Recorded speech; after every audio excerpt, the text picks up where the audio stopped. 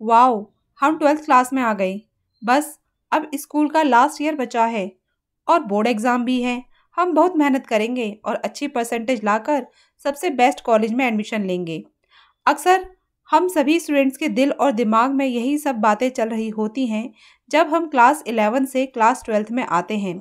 लेकिन कुछ टाइम बाद जोश ठंडा पड़ जाता है और स्टूडेंट्स को समझ ही नहीं आता कि पढ़ाई कैसे करें।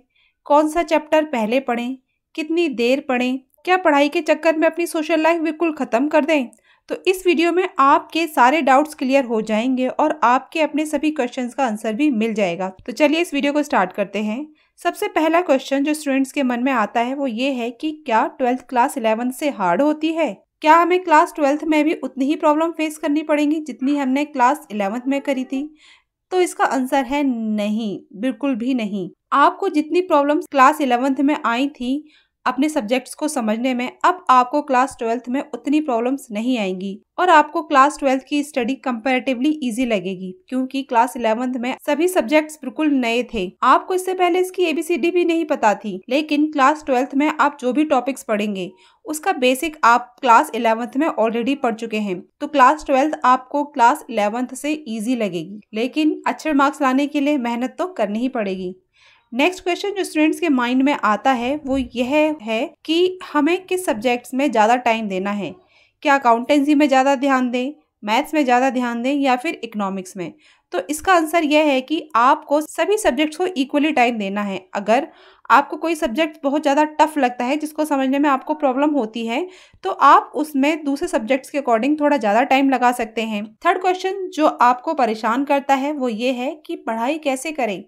हमारा पढ़ने का तरीका क्या हो? इसका रीजन है कि उन्हें पढ़ाई करने का सही तरीका ही नहीं पता होता। आपको कैसे किसी सब्जेक्ट की पढ़ाई करनी है? ये डिपेंड करता है कि वो सब्जेक्ट कौन सा है।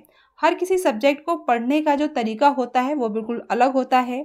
जैसे कि हम बात करें अकाउंटिंग की सब्जेक्ट की तो अकाउंटिंग में थ्योरी भी होती है जनरल एंट्रीज भी होती हैं और प्रैक्टिकल क्वेश्चंस भी होते हैं।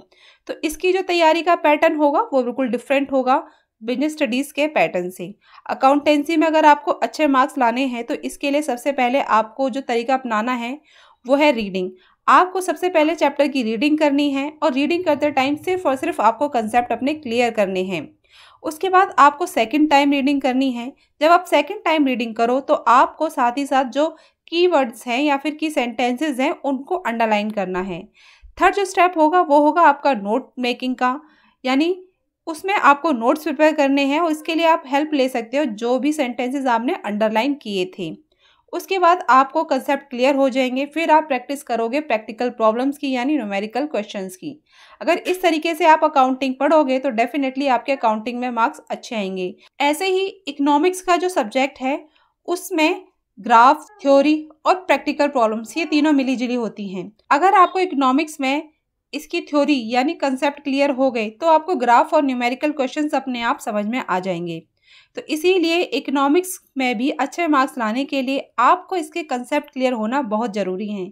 उसी तरह जो बिज़नेस स्टडीज़ है, वो बिल्कुल डिफरेंट सब्जेक्ट है। इसमें थ्योरी थ्योरी और सिर्फ़ और सिर्फ़ थ्योरी ही होती है। तो इसमें जितना फोकस आप रीडिंग पर लगाएँगे, यानी जितनी बार रीडिंग करोगे, उतने ही अच्छे मार्क्स आपके इस सब्जेक्ट में आएँगे। अब क्वेश्चन जो आता है स्टूडेंट्स के माइंड में, वो ये है कि जो हमारी सोशल लाइफ है, क्या हम उसको बिल्कुल ज़ीरो कर दें? तो देखिए ट्वेल्थ में अच्छा परफॉर्म करने के लिए मेहनत तो करनी ही पड़ेगी और मेहनत करने के लिए आपको दिन में कई कई घंटे पढ़ना होगा। ऐसे में अगर फेसबुक इंस्टाग्राम यूट्यूब एट्सेट्रा पर अगर आप ज़्यादा टाइम लगाओगे तो आप अपनी पढ़ाई से डिस्ट्रैक्ट हो जाओगे। इसीलिए आपको सोशल मीडिया का यूज़ ज़ीरो तो नहीं करना है, लेकिन लिमिटेड करना है। यानी जब ज़रूरत हो, तभी आप इसका यूज़ करें। यूट्यूब का यूज़ करें सिर्फ़ और सिर्फ़ आप एजुकेशनल वीडियोस देखने के लिए। व्हाट्सअप या फिर फेसबुक का यूज़ करें आप अपने क्लासमेट्स या फिर फ्रेंड से कनेक्ट करने के लिए और अपनी कोई भी प्रॉब्लम डिस्कस करने के लिए। अननेसेसरीली इनका यूज़ ना करें। अब बात आती है कि क्या करें और क्या ना करें। तो देखिए, आपको क्या करना है वो ध्यान से सुनिए। सबसे पहले तो आपको एक टाइम टेबल बनाना है। अपनी अपनी ज़रूरत के अकॉर्डिंग सबका टाइम टेबल अलग होता है और फिर उसको स्ट्रिक्टली फॉलो करना है। इसके साथ साथ अपने आप को एनर्जेटिक रखने के लिए योगा करनी है और साथ ही साथ प्रोटीन रिच डाइट लेनी है जिससे कि आप अच्छा फील करो एनर्जेटिक फील करो ताकि आप अच्छे से कंसंट्रेट कर पाओगे अपनी स्टडी पर। और साथ ही साथ आपको अच्छे से नींद भी लेनी है क्योंकि अगर आप सोओगे नहीं तो थका थका महसूस करोगे और अपनी पढ़ाई पर ध्यान नहीं दे पाओगे। आपको क्या नहीं करना है? फ़र्स्ट कि आपको सोशल मीडिया का जो यूज़ है वो अननेसेसरीली नहीं करना है। ज़रूरत पड़ने पर ही इसका यूज़ करना है।